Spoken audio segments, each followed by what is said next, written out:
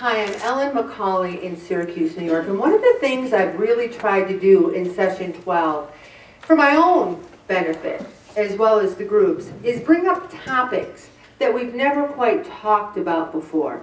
Now, we talked about self-love, we talked about self-acceptance, but we've never really talked about self-compassion. We've talked the past two weeks about peace and the peace of Christ and the peace that we need to get away from the anxiety and the emotional eating. And I thought a very big obstacle in my life to that peace was that I did not treat myself with self-compassion that I was there with that whip, with that should of list. Why didn't I turn away from the butter and sour cream on the mashed potato? I shouldn't have ate it. I should, should have, should have, should have. And this week I want to talk about gaining that peace through self-compassion and self-acceptance. And the materials that I have tonight are so powerful. In many cases, I want to read whole passages from them. Compassion and acceptance are forms of love. You know, you, a couple of people couldn't make it tonight because they had calling hours they had to go to. And they called me, and I, I said, I so get that. Because when my dad died in 1991, I still remember everyone who came. I remember what they said. I remember feeling the love and the compassion. You know, and then my sister tells a story of someone that she thought was a very good friend who later went up to her and said, oh, I didn't make it. I was just so busy. I had a dinner party. I had this, I had that. And they went on and on and on about all the reasons they couldn't go. And there was no compassion. There was, you know, it would have been better if the friend said, I so wanted to be there. I love you. I'm so sorry your dad passed away. And not gotten into that other stuff. So she remembers, and I remember the acts of compassion. And so often we don't give that compassion to ourselves. Because so often our self-worth is dependent on being perfect. If we're not perfect, then we beat ourselves up. You know, one of the things when you deal with yourself with self-compassion is that you start to love yourself and you say, I don't want to see myself suffer anymore. I love myself. I have such compassion that I don't want to suffer by dredging up the mistakes I've made in the past. I don't want to suffer by carrying around this excess weight and having to take high blood pressure medicine. So that it no longer becomes an effort to try to lose weight and keep it off. You're doing it because you care about yourself. And this desire for our own happiness, our caring, is what supports and fuels our change process. And this kind of change feels much, much different than change that's fueled by a sense of unworthiness, disgust, I hate myself, judgment, shame, and blame. Not only does compassion foster healing, it also fosters, fosters the deepest freedom and peace. Our worthiness and lovability are no longer tied to how good we are, so we can rest. We can feel enough. We can feel at peace now, not when we finally get ourselves together. I used to think, I'll be okay at 175. That was it, 175, 175. I will be great you know, I'll probably win the lottery. I'll probably say to Bob, sorry, you know, Brad Pitt has finally called. and I love you, but Brad, come on, Bob. And Bob would say, I understand it's Brad Pitt. I get it. No, I won't. No, he won't. but don't we do that? Don't, don't Bob, I'll be there. oh, yeah, Mary Ellen, right line. Oh, you want to go with Brad Pitt? I'll take Bob. I'll take Bob. Oh, sure. We're going to talk later.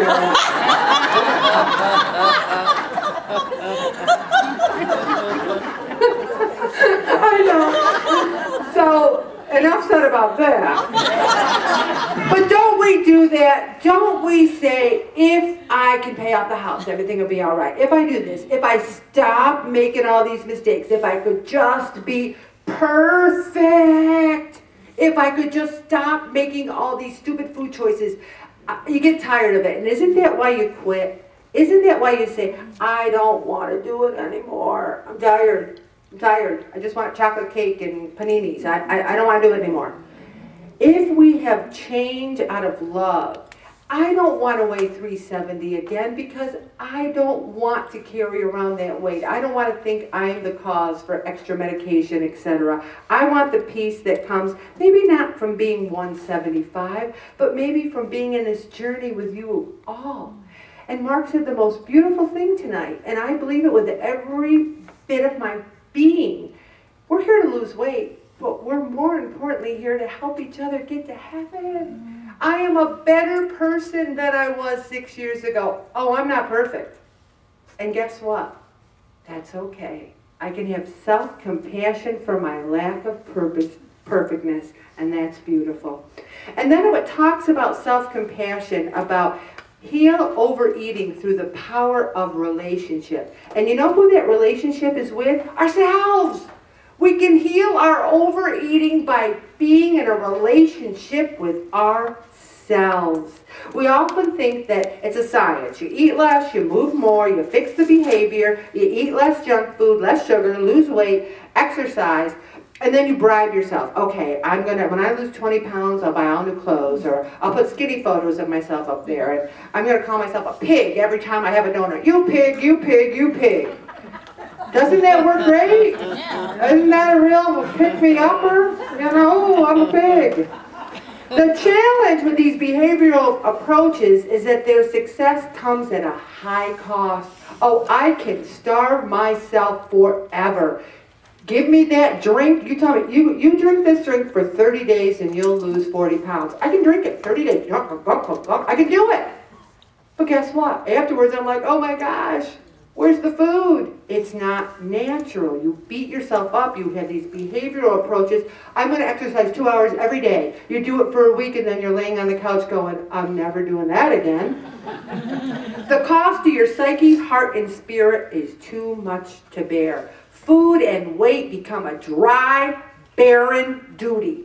I have to admit, there's a huge part of me that's still afraid of food, afraid of parties, afraid of binging at parties. Because this is what you do. I'm so good, I'm so good. It's a party. I don't want to have my life revolve around my relationship with food. I want to live my life. Food's there. I eat it. I don't beat myself up.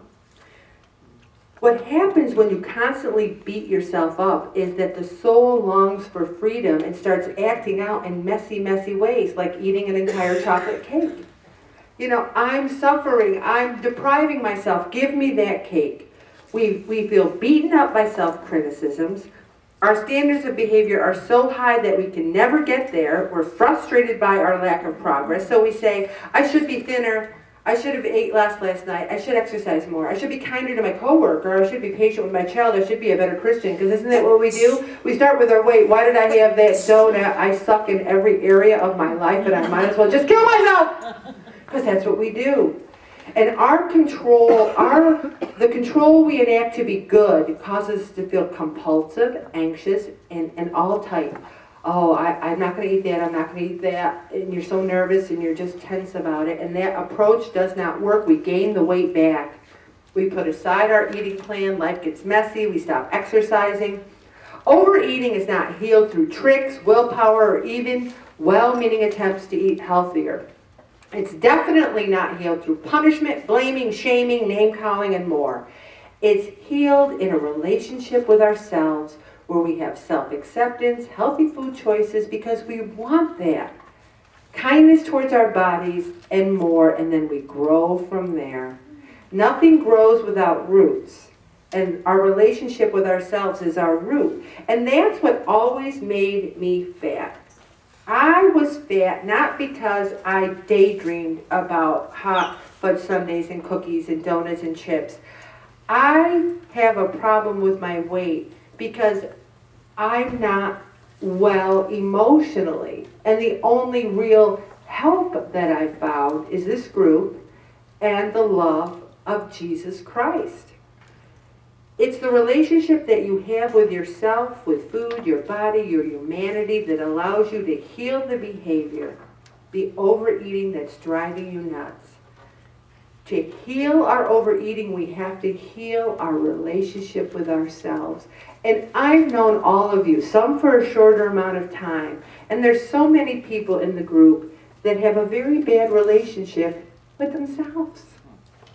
They really do. You say things to yourselves that you would never say to me. Like if I said to you right now, yeah, it was my sister's birthday, I had a piece of cake. Do you stand up and go, you pig? You you loser, you're running this group and you you had cake? Can't you practice what you preach? Get out. Get out of this group. No, you're like, well, it's just your birthday, you know. I'm sure you got back on the saddle the next day. I'm sure you're gonna try and keep it off. Isn't that what you'd say to me? Then why don't we say it to ourselves? And that's where we have trouble. We're gonna stop right there, Bobby.